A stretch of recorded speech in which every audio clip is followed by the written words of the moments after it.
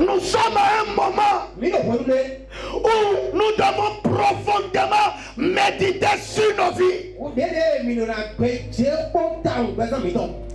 Afin de prendre conscience de ce qui ne va pas. C'est pour ça que j'ai posé la question au début. Dieu peut-il défendre ton cas?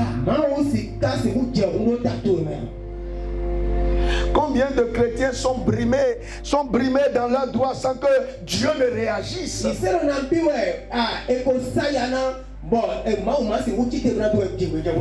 Il a un bon projet, un projet prometteur. Il est exposé à des gens. Les gens disent c'est très bien, mais à la fin, on a volé son projet à sa vue et devant lui. Il voit le projet se dérouler. Mais lui-même, il est là, il y est.